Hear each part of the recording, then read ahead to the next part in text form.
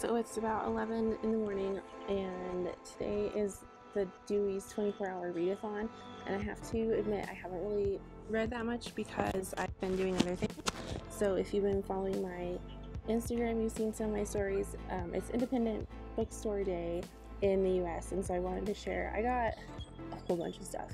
I got some free stuff, and then I bought some books. So I'm just gonna share like the free stuff that I got. Um, so first off, they had this book, which is Feminism, a very short introduction, and you can tell this was an exclusive for Independent Bookstore Day, and it was free.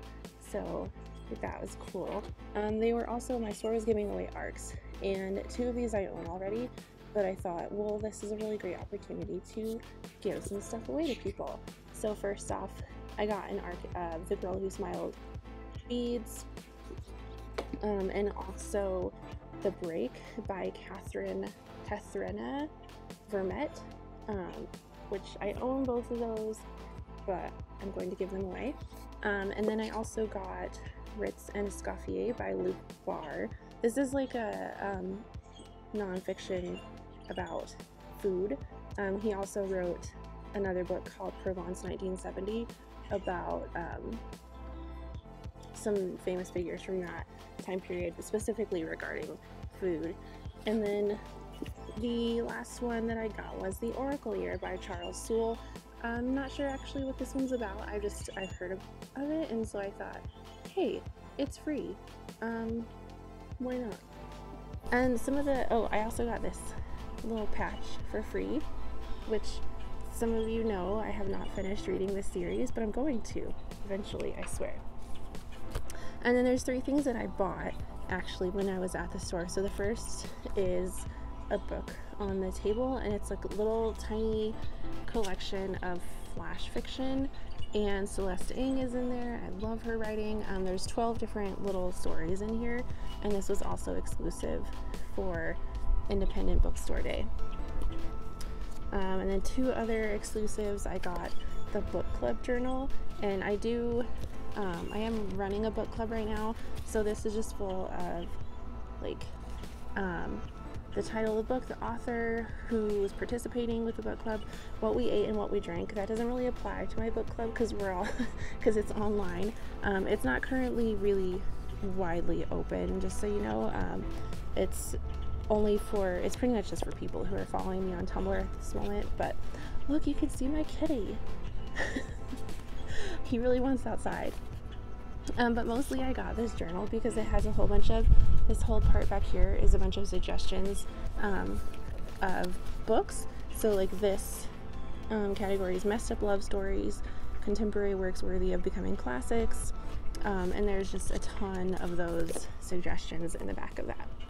And then the last thing I got is this tote, um, like a pencil bag or whatever the heck you want, and it says, be kind to everyone, make art, fight the power. Colson Whitehead. I'm not like the biggest Colson Whitehead fan. Winnie! um, but I really like this tote, and plus it's an exclusive. You can only get this by going to an independent bookstore on today, April 28th.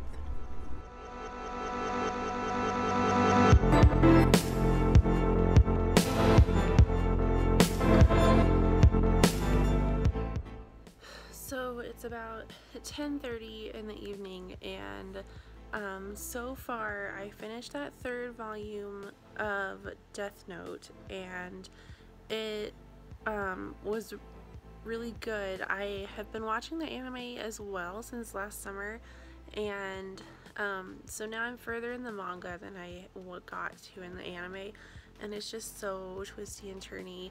Um, I had actually like forgotten something that happened at the end apparently because I was like, Kira, what are, like, Light, what are you talking about? I'm not really sure what's going on right now, but I got it figured out.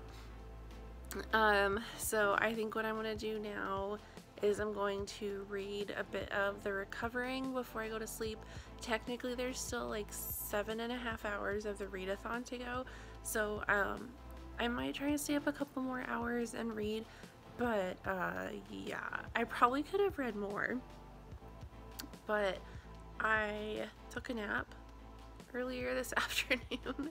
and then I also watched a couple episodes of Westworld.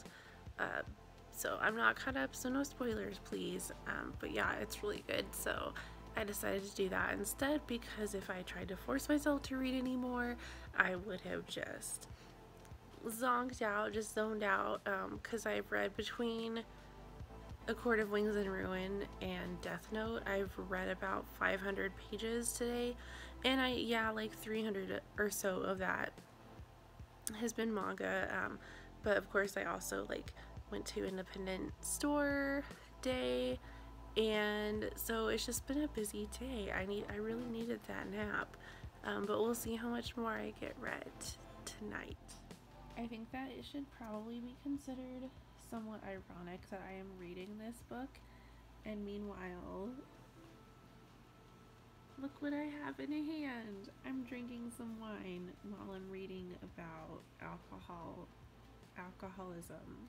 So it is about noon here I am today, which means that the readathon has been over for about six hours now and I think I did pretty well. Um, I did sleep because I like sleep, um, but I read about 200 pages in A Court of Wings and Ruin total, and then um, I did finish Death Note, which is like 300, oh, it's like 400 and something, just over 400 pages in here, and then also, I did work on the recovering. I read about, I only read about 30 pages of this, but like I said, I read it in pretty small chunks. I didn't get to Leah on the offbeat at all because, um, yeah, independent bookstore day really took a huge chunk out of my time. Not complaining whatsoever because I got some really great stuff and I'm super excited about it.